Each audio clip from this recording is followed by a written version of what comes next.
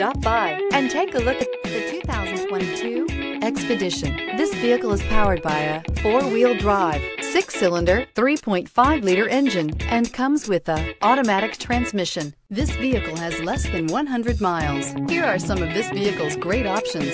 Four-wheel drive, tire pressure monitor, turbocharged, blind spot monitor, tow hitch, heated mirrors, aluminum wheels, rear spoiler, remote engine start, power lift gate,